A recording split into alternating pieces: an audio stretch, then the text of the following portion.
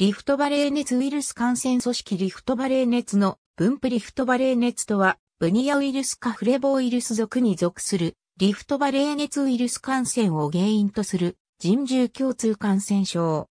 主に東アフリカの大地交代に分布し古くから知られている病気で、地域名が病名の由来となった。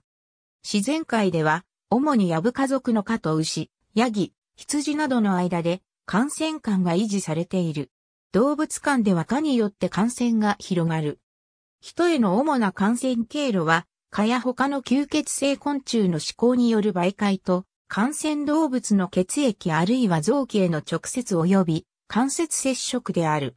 したがって、獣医師、遊牧民、農民、食肉処理場の従事者などは感染のリスクが高い。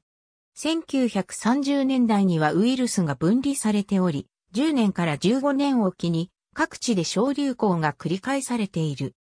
人の死亡率は1%程度とされていて、大規模な流行は1977年から1978年のエジプトでの流行で、この時は1万8000人が感染し、598人が死亡した。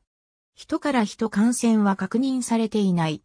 現在の主な流行地域は、サハラ砂漠以南のアフリカ。